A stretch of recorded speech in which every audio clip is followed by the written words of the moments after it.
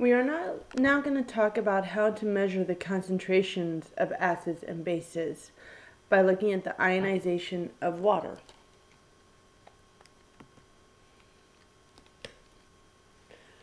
You'll notice in a water molecule, which is H2O,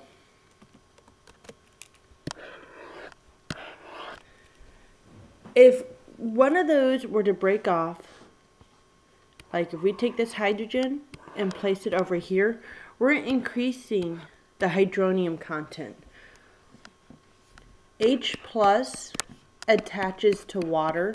So if this is from an acid, let's say hydrochloric acid or something like that, H plus doesn't really float around in water by itself. Instead, it attaches itself to a water molecule to make H3O plus. A hydrogen by itself is too small to exist, and so that's why it attaches to something else. But if you look over on the right-hand side of the equation, we have H3O plus, and we have OH minus. So by, de by definition, water has both donated a hydrogen from here and accepted a hydrogen. So this would be the base here, and this would be the acid, which would make this the conjugate acid and the conjugate base. But notice in when you did that, either way, we increase the H plus and the OH at the same time. Water is a neutral compound. It's actually the only neutral compound. That means for every H3O plus that exists in water, there's an OH minus that exists in water. They're the same.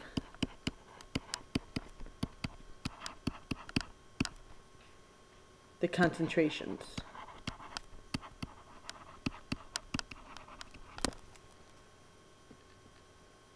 So in pure water, the ionization of the water molecules is a very small amount, times 10 to the negative 7. That's 0 0.12345 one more. So in with every liter of water,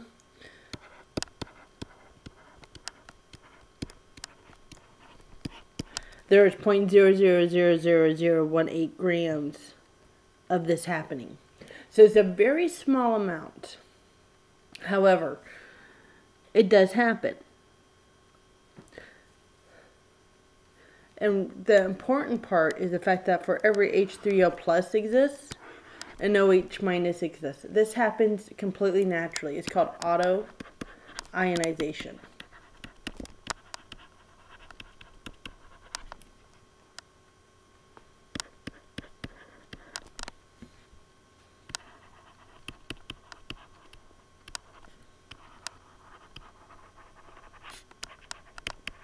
It means that the water is ionizing automatically.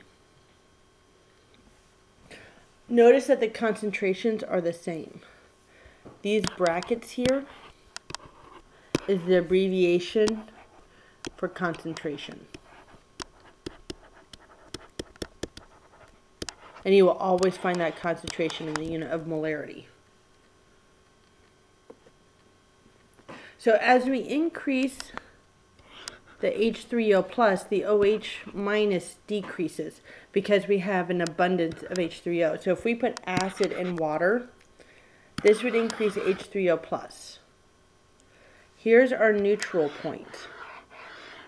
Once we've increased that H3O plus above that neutral point, it's now considered an acid.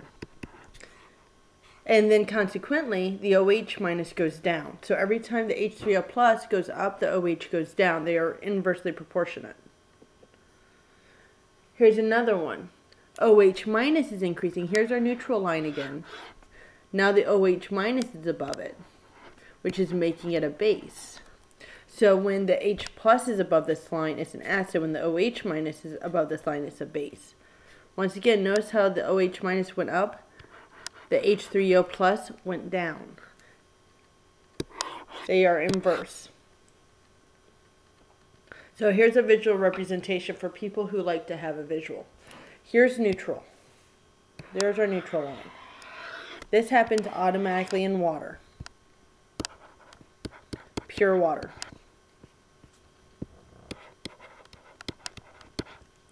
If we add an acid to the solution, the H3O plus is going to go up. If we add a base, the OH minus is going to go up. Either way, whatever doesn't go up, end up going down.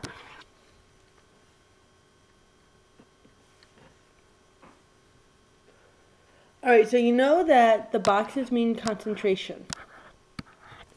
If we multiply the concentration of pure water, notice this is in pure water, of the H3O plus and the OH minus, because impure water is always going to be times 10 to the negative 7 every single time, we call that a constant. Which means that every single time, that's going to be the same. And that gives us KW. K stands for the ion product. Constant. The W is referring to the water. If we multiply these two numbers together, we get 1 times 10 to the negative 14. That number is extremely important. That's the number you're going to want to remember. Because what happens is the KW, notice, remember the word constant, will always be there. 1.0 times 10 to the negative 14 because we're relating it to pure water,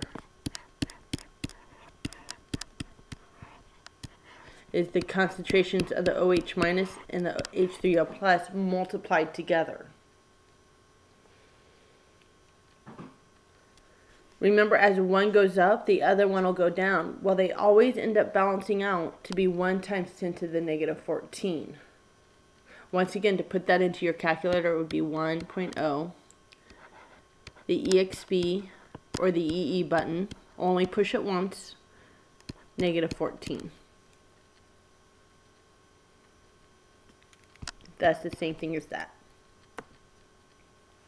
All right, so if we look at it, regardless of what these concentrations are, so this one's neutral, so 1 times 10 to the negative 7, 1 times 10 to the negative 7, that's where we got this from. If the concentration of one goes up, the other one goes down but the KEQ, the KW stays the same. One went up, the other went down, KEQ is the same. This time, the concentration of hydrogen went down and the OH minus went up. KEQ is still the same. Every single time, 1.0 times 10 to the negative 14. I'm going to write this equation again because it's really important.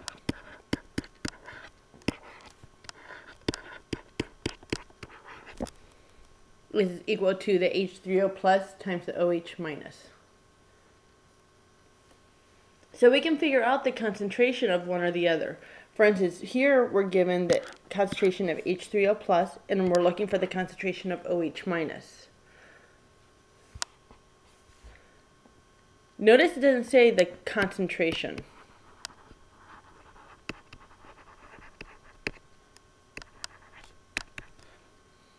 That's because these brackets mean concentration. So 1.0 times 10 to the four, negative 14 is equal to 2 times 10 to the negative 3 times the concentration of OH minus. That's because 1.0 times 10 to the negative 14 is equal to H3O plus times OH minus. We've simply put this number into the H3O plus. So it'll be 1.0 times 10 to the negative 14 divided by 2 times 10 to the negative 3 is equal to the concentration of OH minus. To put that into your calculator, we're going to replace times 10 with the EE button.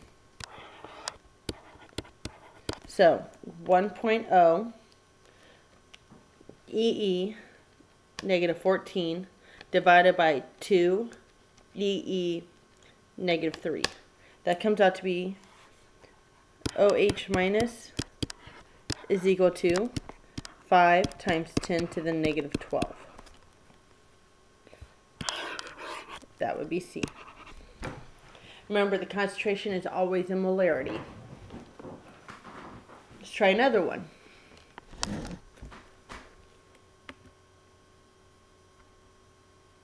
That's the exact same question. Okay. Um, the OH minus of an ammonia solution is this. So this is our OH minus in the equation.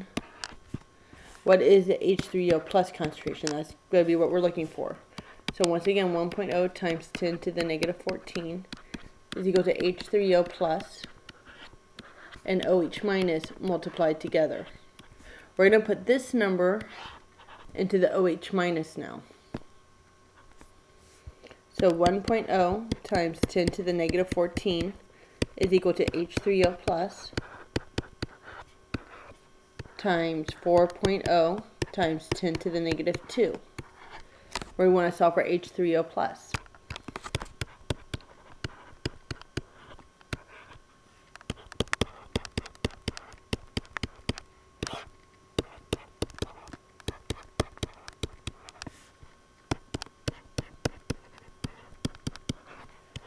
One times ten to the negative fourteen divided by four times ten to the negative two.